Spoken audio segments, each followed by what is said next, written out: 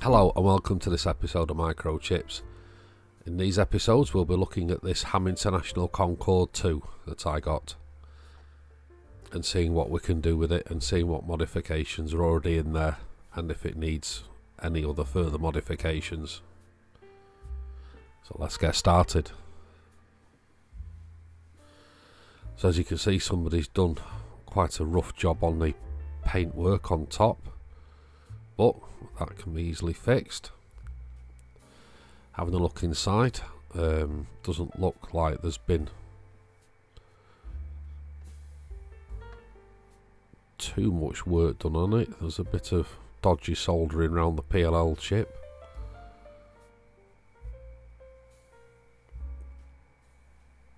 But there's no sign of any EPROMs or anything which is good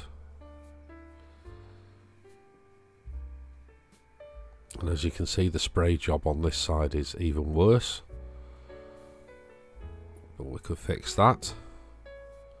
And opening up the other side everything looks neat enough. There's no bleep module. The cell call's been removed. Got some dodgy wax on the VCO and we've got an AG PLL02 as well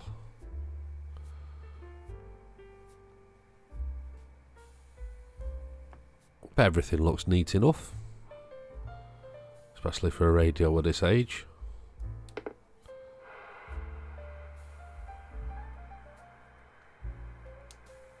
So this radio should be mid-high, super high.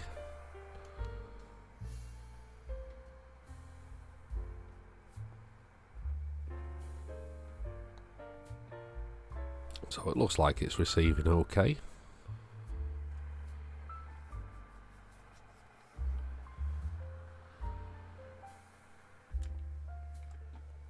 We are transmitting.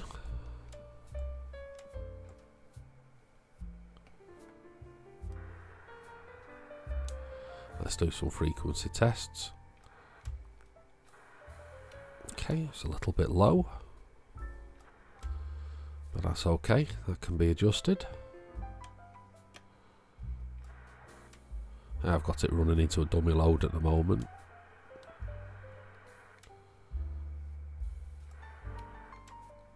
So high band is running a bit low as well. And super high is a little bit low. Okay, that's just fine. That seems to be working nicely.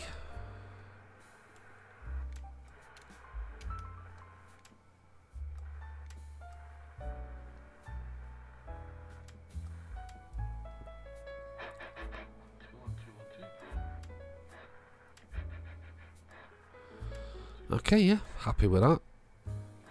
That's got some wear and tear on the front. But nothing too bad. I've seen them a lot worse. I've got a little bit of black touch-up paint that we're going to go over that. Try and make it just look a little bit better.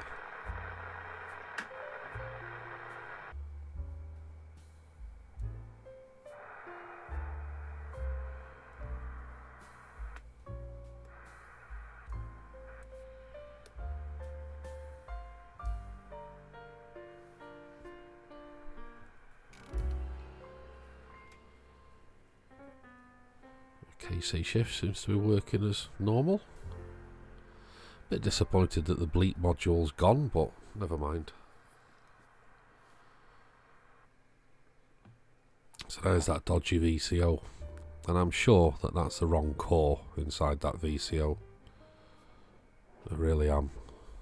I'm sure the core, the core should be hollow and made of a different material. But seems to be working. But that dodgy green VCO is not staying in. We're going to fit ourselves a Spectrum VCO that I've ordered from that nice gentleman down south that hand makes them.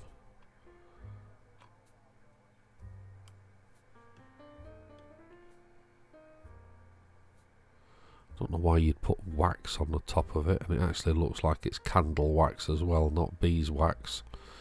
which is a bit of a no-no. I'm sure that's the wrong core inside there, I really am. But it works, and it's not staining.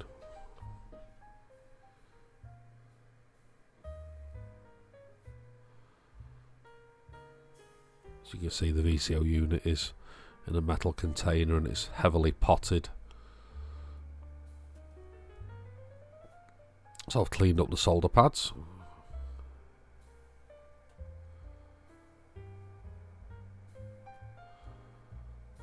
And then we have our Spectrum VCO.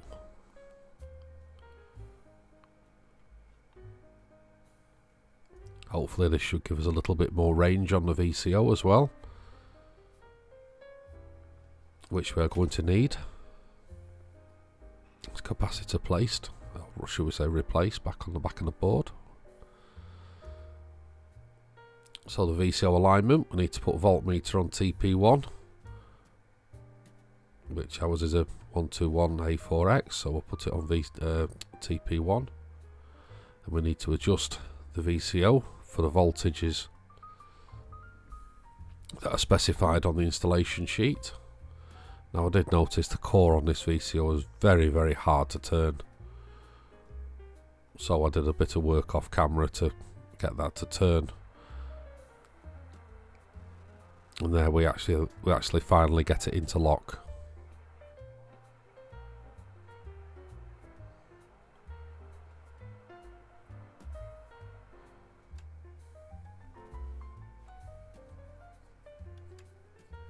So just checking that it's locking everywhere else.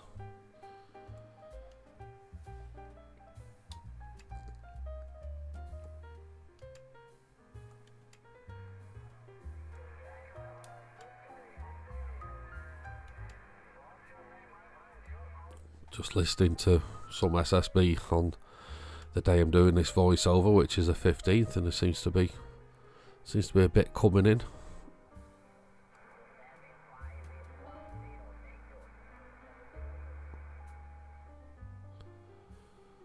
Okay, well there's our Spectrum VCO fitted. Stay tuned for part two.